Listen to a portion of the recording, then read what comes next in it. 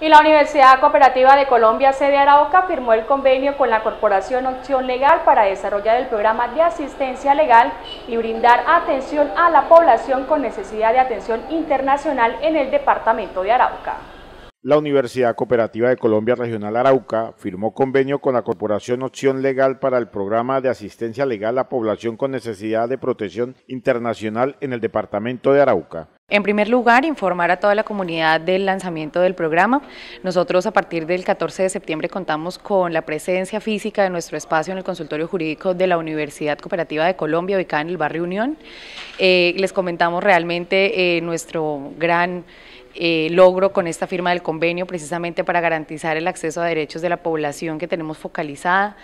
Eh, nuestra población precisamente es aquella que requiere protección internacional. Y esta firma, eh, digamos que en coordinación con la Universidad Cooperativa de Colombia, con ACNUR y con Opción Legal es un gran paso para el Departamento de Arauca en materia de protección de derechos y finalmente de garantías para las personas con necesidad de esta protección. Este convenio firmado se implementarán cuatro estrategias para garantizarle el derecho a estas personas. Nosotros tenemos planteadas cuatro estrategias que están eh, compuestas precisamente y elaboradas para garantizar el acceso a derechos. Dentro de ellos se encuentra asistencia legal, tenemos igualmente las jornadas de formación, por otra parte, tenemos lo que es relacionado con coordinación y finalmente lo que es monitoreo y evaluación. En asistencia legal, entonces, tenemos la presencia de nuestro espacio físico, como les comentaba, en el barrio Unión.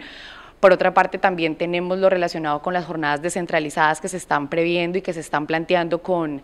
Eh, con compañía precisamente de los estudiantes y eh, por la estrategia de formación tenemos siete, a la fecha de septiembre, o sea de julio a septiembre de este año tenemos ya planteadas siete jornadas de formación que se realizaron eh, con los estudiantes que pertenecen al programa y adicional a eso garantizar la presencia real de procesos de formación que sigan siendo continuos hasta la finalización de este semestre que es lo que lleva planteado el convenio.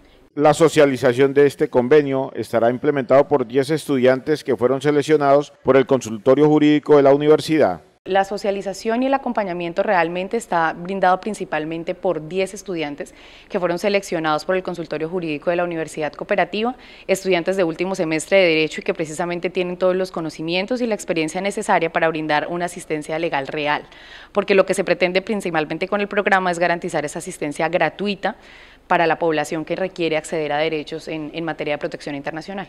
En el departamento de Arauca se está vulnerando muchos derechos como laborales, educativos y sobre todo en la salud. Es evidente que en el departamento de Arauca se están evidenciando mucha problemática en materia de eh, derechos laborales, en materia de salud, en materia de educación y en materia de niños, niñas y adolescentes. Eh, es una prioridad que tiene principalmente el programa atender en, este sentido a esta población y que adicional a eso se puedan eh, identificar exactamente cuáles son las problemáticas para atender directamente el foco de, la, de, la, de las violaciones de derechos.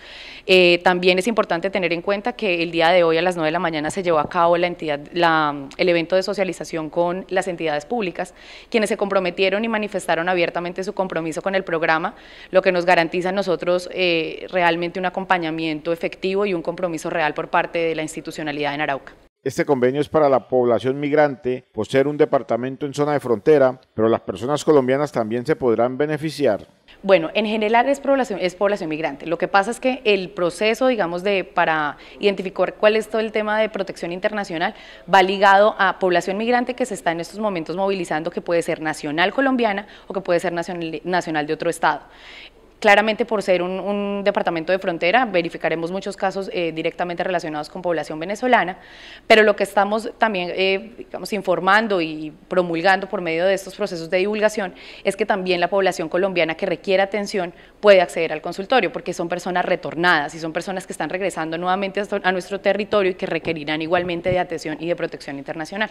Los interesados podrán acercarse a la sede de la Universidad Cooperativa que está ubicada en el barrio Unión del municipio de Arauca.